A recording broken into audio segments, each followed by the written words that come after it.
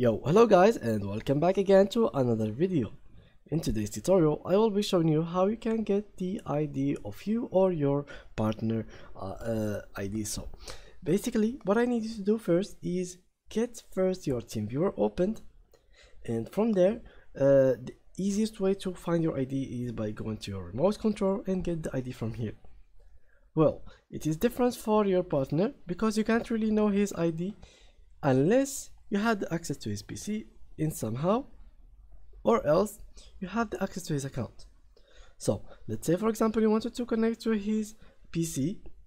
but he is away and you don't know his ID. What you could do in case he wasn't next to his PC, you should text him and ask him for his email and password of his TeamViewer account. So after you put your his email and TeamViewer account informations in your PC, you will log in so like from here sign out then log in and you will find his id and password. You copy those two and right after that what you're gonna do is sign out of his account and log into your account. Of course you will need to add him onto your uh, wake to LAN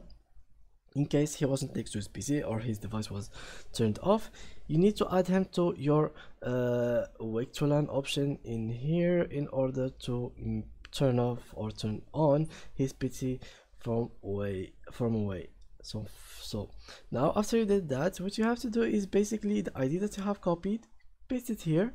and then you click on connect and right after that you pass his password and it it will take like